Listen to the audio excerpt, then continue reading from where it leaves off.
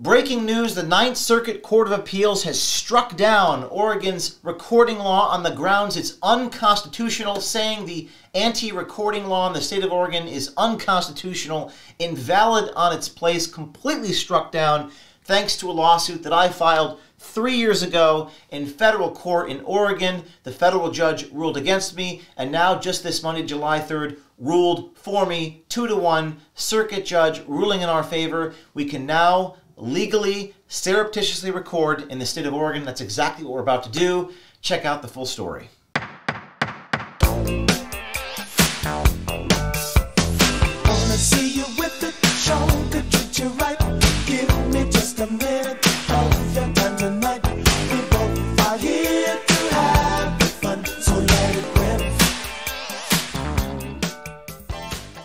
Bloomberg Law, the San Francisco Chronicle, Oregon Watch, the Volokh Conspiracy, um, Oregon Live, mainstream media is now reporting this victory, although begrudgingly mentioning my name and the success of this lawsuit. So it all started about three years ago, August 2020. I was in Chapman Square in Portland, Oregon. This was right during the time of the George Floyd riots. There was fires burning in the evening or walking through Chapman with my lawyer Benjamin Barr. There we are wearing the bulletproof vests, holding a press conference outside the Mark O. Hatfield Courthouse in downtown Portland. We had heavy security.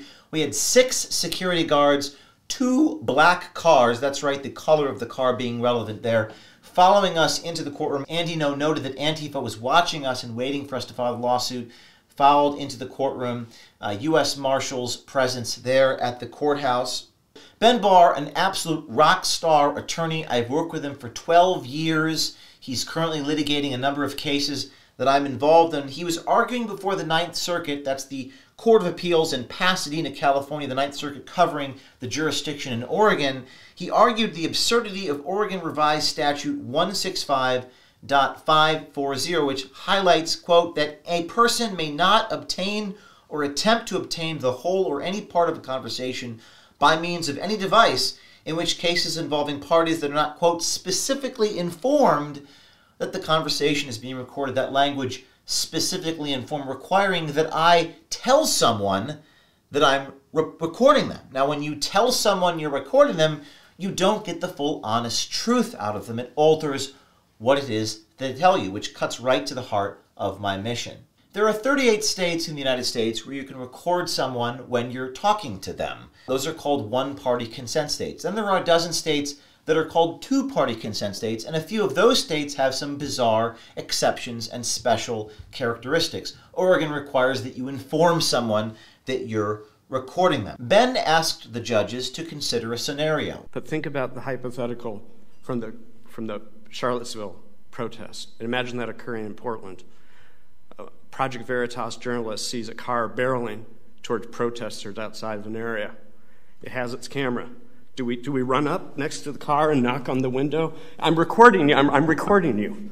That's absurd. Do we take the chance that maybe they'll kill a person, so we're going to turn the camera on and record, but they don't. They only injure a person and create a misdemeanor, and the journalist, as a result, goes to jail. The stringent law requiring journalists to inform the driver would not allow us to record what happened. The absurdity of the situation underscores the necessity of freedom in journalism and reporting. We originally filed the complaint in August 2020 in the federal district as PVA versus Michael Schmidt in his capacity as district attorney for the county of Multnomah and Rosenblum in her capacity as Oregon Attorney General.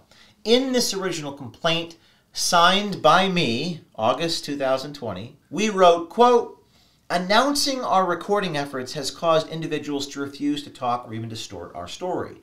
Without using these techniques, plaintiffs, that's us, are unable to exercise their First Amendment rights to engage in undercover journalism. What's interesting is that Circuit Judge Ikuta of the Ninth Circuit actually pushed back on the government's lawyer, the person on the other side of us in this lawsuit, who acknowledged the need for undercover journalism. One argument that's raised by opposing counsel is that there aren't ample alternative channels because merely writing things down and making a report are not adequate substitutes. What's your response to that? Well, I'll begin by acknowledging that secretly recording conversations is a useful tool for conducting investigative journalism, and the state does not make any dispute with that point. And there it is. As I wrote in my book American Muckraker, quote, to ban surreptitious audio and video recordings would only remove information from the public sphere that offers a more accurate depiction of a given incident. Surely, as the Louisiana Supreme Court once noted, society would not consider reasonable an expectation of privacy which would result in a more inaccurate version of the events in question. Think about it. If you're taking contemporaneous notes and that's allowed, if you're allowed to write down what someone tells you, why can't you audio record that? It's more accurate when you do. As legendary 60 Minutes producer Don Hewitt once quipped, What are you saying? That Upton Sinclair shouldn't have smuggled his pencil in? In our original complaint, we actually make note of an interaction I had with Jake Tapper in this video where I'm following Jake Tapper asking him questions about one of the producers that worked for him who was apparently sexually harassing people. Now, in this interaction, I asked Jake the question. He says, You should call the PR department. I did. We've made 75 phone calls, Jake. When you call the PR department, you often get a different response than when you're using a hidden camera. And we use this example of my confrontation of Jake Tapper in the original lawsuit. Announcing your recording intentions causes individuals to change their story. We also say a number of things that we are going to do, investigations that we were about to do, but the law prevented us from doing, including corruption in the Oregon Public Records Advocate, and also taking a look at some of the things that Governor Kate Brown is doing. We also mentioned the investigations we were about to do with the dramatic rise in violent protests in Portland and Antifa. We actually put in the document given to the federal judge the investigations we're about to do. Now, that's of course very ironic because that might deter those people from engaging in the activities and make our jobs more difficult, but that's what we had to do. And also, by the way, now you know why I take black cars with secure drivers. There I am in the bulletproof vest with Ben standing outside the courthouse. There were literally people stalking us, following us, watching us and threatening us. If you don't believe me, ask Andy Ngo, who was assaulted in Portland, Oregon, and was with me and was very grateful for those two black cars and those secure drivers. Having black cars being used against me is one of the most ironic things in my life. These are the things that saved my life, protected me, protected my whistleblowers, protected my sources, and helped me have secure conversations in the vehicle while I was being targeted. So, about a year after we filed this original complaint, federal judge Michael W. Mosman, a George W. Bush appointee, ruled against us in August 2021. Mosman wrote in that order, quote, it makes sense to treat the real-time quality of audio recording differently in terms of the government's interest in protecting individual privacy. The judge also noted, quote, we can engage in undercover investigations without audio recording. Judge Mosman, how is that the case? What are we supposed to do? Uh, read their lips? Hell, even when we show the audio, they still say it didn't happen. So clearly, that's kind of flawed logic that Judge Mosman was using in that district order.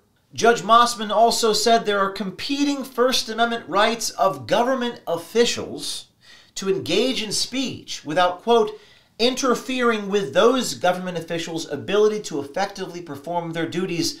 Judge Mosman somehow suggesting that journalists asking questions and reporting what they hear interferes with the government's right to effectively perform their duties. That's rich. That logic obviously runs afoul of the First Amendment and the right of journalists to exist and do their duties, and the Ninth Circuit Court of Appeals agreed with that. So Mosman signed his order and ruled against us, but the Ninth Circuit overruled Judge Mosman. The Ninth Circuit Court of Appeals, in their analysis from Peavy versus Schmidt, decided Monday, July 3rd by a Ninth Circuit panel in an opinion by Judge Sandra Ikuta, joined by Judge Carlos Bea, Circuit Judge Ikuta writing, quote, Oregon law generally prohibits announced recordings of conversations subject to several exceptions.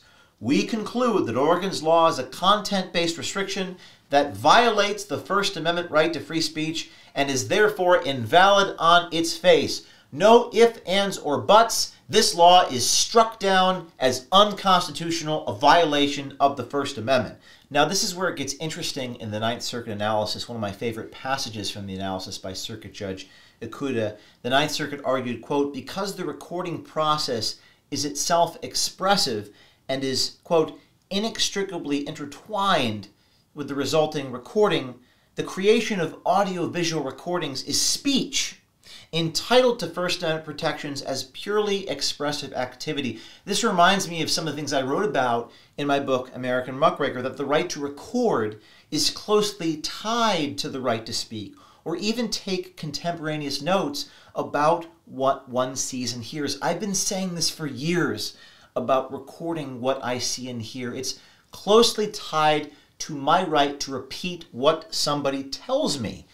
And I based some of that logic off of a book by Phil Meyer called Ethical Journalism That's Rich, because people say I'm unethical and I'm quoting a book by an academic called Ethical Journalism. Phil Meyer wrote in one of my favorite books that the belief that the recording was more destructive than taking notes was proved to be little more than an emotional response to new technology. Think about it. Is it logical? Why are you against the recording of what you said if it's a more accurate depiction of what it is that you said? And in an era where we're disputing facts and it's all he said, she said, I didn't say that, clearly the recording is the thing that people need to see. And if anything, prohibiting people from seeing or taking a recording is letting the villain or the bad guy get away with whatever he it is that he said or whatever it is he denied he said. It's almost like you're giving the bad guys a way out. You're protecting the guilty, you're indemnifying the guilty.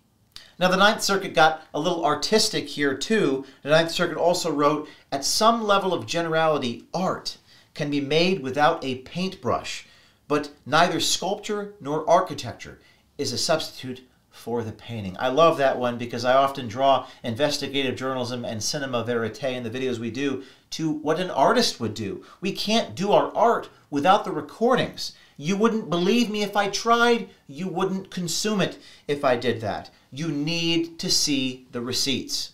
And the Ninth Circuit overruled the federal district court. You can now secretly record in Oregon. The San Francisco Chronicle, that should shock you. You never see your stories in the mainstream media. Well, guess what? You're seeing them all over the mainstream media. The San Francisco Chronicle reporting the quote by the circuit judge, the government does not have a compelling interest in protecting individual privacy against unwanted communications in areas open to the public unless the audience's substantial privacy interests are being invaded in an essentially intolerable manner. And that balance between the public's right to know and privacy is something that we take very seriously. And in many cases, we don't air the video recordings or the audio recordings if the public does not have a right to know. The San Francisco Chronicle reporting that Oregon's ban on secretly recording conversations except those involving life threatening crimes or police participants is an unconstitutional restriction on speech based upon its content, a federal appeals court ruled on Monday. And Oregon Live, another mainstream media publication, recording quote, O'Keefe said in a statement he intends to use hidden cameras so allies with his new group can expose wrongdoing. Indeed, we are. And if you're a citizen in Oregon, you now have the right to work there. Please send us an email. Please send us a tip. Please go to the O'KeefeMediaGroup.com website, contact us, fill out our Jotform. We want you to record in Oregon. Stay tuned.